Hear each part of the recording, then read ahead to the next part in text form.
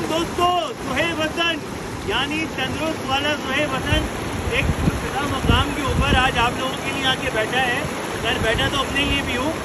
कि जनाब, ज़िंदगी में चीज़ों को इंजॉय करें। लाइफ जो है ना, वो ऐसी चली जाएगी, बखेड़ों में मसलों में, मसाइल में। तो इससे निकले बाहर, कोशिश करें मटीरियल के पीछे ना भागे। ठीक है, इन तमाम चीज़ों को एक्सेस करने में आपको पैसे की ज़रूरत पड़ेगी।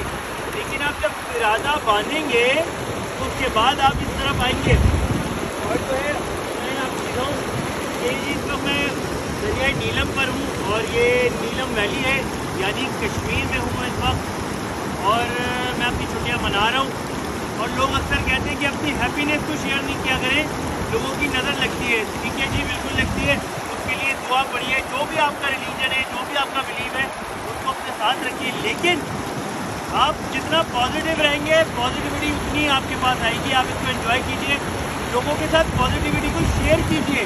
जब तक शेयर नहीं करेंगे, तब तक चीज़ें आगे नहीं बढ़ेंगी। तो जैसे बुराई को बढ़ाते हैं तो बुराई बढ़ती चली जाती है।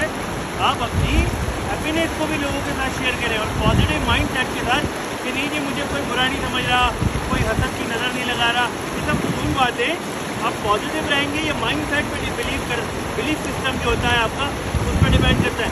एनी वे छोटा सा पैगाम था, जो थोड़ा लंबा हो गया तो उम्मीद है कि सब खैरियत होंगे, और मैं तो आपके सामने खैरियत से होंगी और इन मेरा सफ़र भी खैरियत से गुजरेगा।